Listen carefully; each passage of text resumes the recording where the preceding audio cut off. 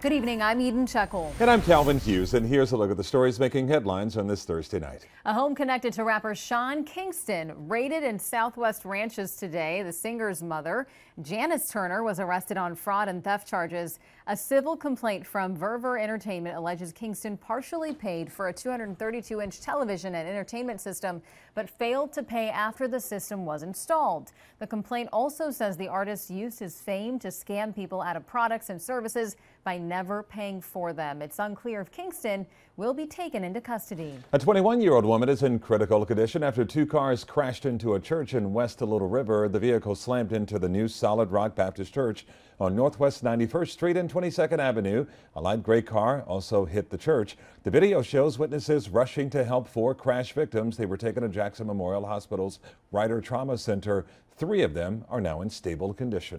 The Miami Beach Police Department is gearing up as Memorial Day weekend approaches. Officers say they will be getting additional help from state troopers to scan the license plates of cars crossing the, Macar the MacArthur and Julia Tuttle causeways into the city. They also say, unlike spring break, there will be no DUI checkpoints and certain residential zones will be blocked off to visitors.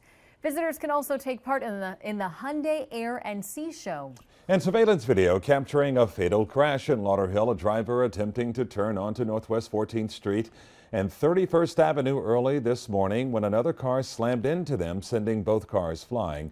Police say 50-year-old Daryl Walker died from his injuries. Two other people are now recovering in the hospital.